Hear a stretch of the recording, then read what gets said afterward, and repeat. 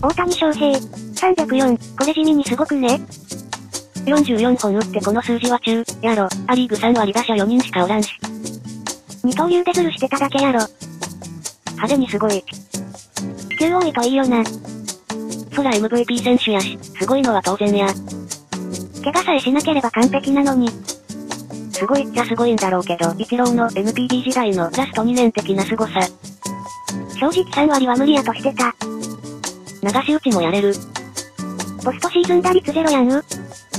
左投手のガイスラ一切打てないの印象悪いわ。日本でも打者に偏った年は想像を超えて打率高くなる。